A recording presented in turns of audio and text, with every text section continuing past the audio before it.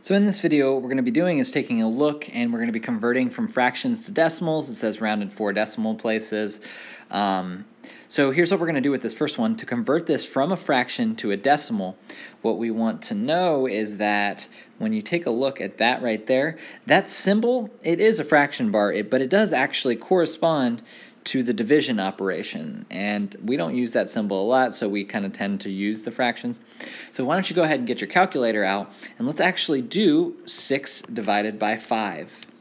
When I do 6 divided by 5 in the calculator, what I get is 1.2. Well, this, this brings up actually a good point with this problem. Take a look at the instructions. You see it says rounded four decimal places. Well, there's not four decimal places to round to, right? 1.2 is going to be our answer. So that's it, okay? Don't, there's no need to add zeros at the end or do anything like that. If it says round four decimal places, maybe another time you might get 10 or 12 decimal places, but in this case, we're just going to leave this at 1.2. Now, to be able to turn from a fraction to from a decimal to a fraction. We're going to do this once by hand, and then I'm going to actually write out the steps of how to do this using your graphing calculator. Um, I'm going to go, when we think back to that previous video, when you looked at this place right here, that 2, sorry, that second 2 right there, what is that place? Remember, the first one is called the tenths, the second one is called the hundredths, and so this decimal is in the hundredths place. Since that's the case, we take that number and we put it over 100. If you do this in the calculator, if you do 22 divided by 100, you're going to see you get the exact same thing. Now, this is not a simplified fraction.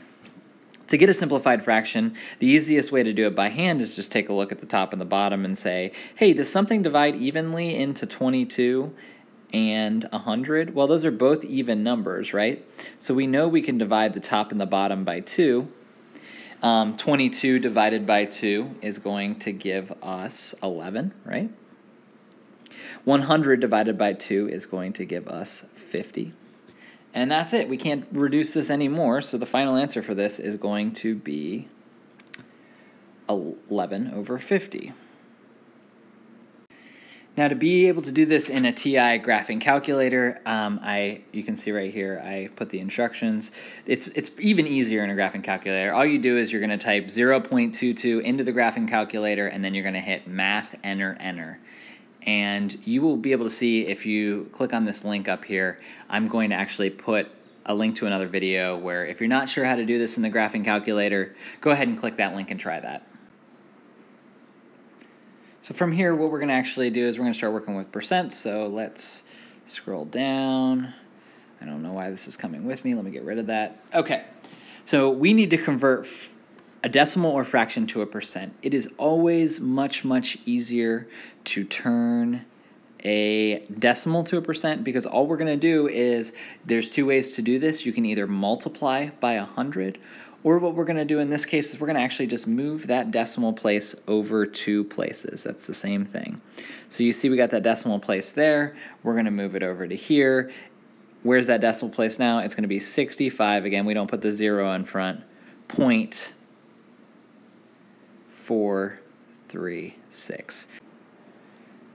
Now I'm going to zoom out here a little bit and I want to take a look. Um, remember what this problem says. It says that we need to round two decimal places. Take a look at our percent there. We should have a percent symbol here because we converted it. Two decimal places, that's right here. Is the number to the right of it 5 or higher? It sure is. So when we do round this, um, what we're going to do is we're going to make that 3 into a 4 because again this number is 5 or higher. So it's going to be 65.44 is going to be our final answer for that one. Now moving down to this next one to convert 3 eighths into a percent I think that the best way is just to go ahead and do 3 divided by 8 in your calculator. So when I do 3 divided by 8 in the calculator I get 0 0.8 375. Now that's just, now this is the decimal, right? So if it's a fraction, the first thing you need to do is divide it out. And then we're going to do exactly what we did in the previous problem. We're going to move that decimal place over two places so that it's right here. And what we have is 37.5%. To go back up to this last one. Make sure you put the percent symbols when we're representing a percent. So 3 eighths written as a percent would be 37.5%.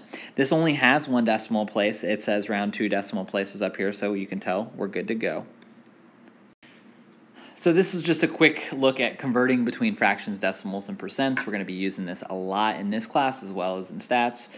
So um, again, we're going to get some more practice of this in class.